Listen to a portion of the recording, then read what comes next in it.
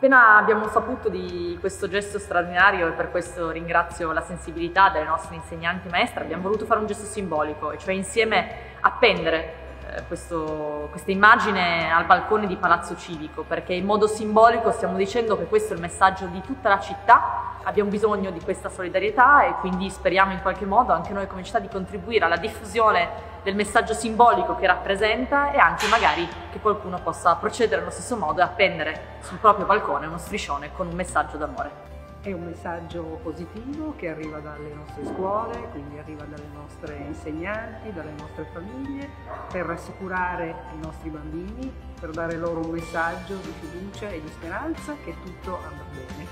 Mi chiamo Marina Bruno, sono un'insegnante della scuola dell'infanzia di via Lodovica e a noi è venuta in mente questa iniziativa, l'abbiamo girata a tutti i bambini della nostra scuola di fare un uno striscione ehm, e appenderlo alle loro case. Ovviamente io l'ho fatto per la nostra scuola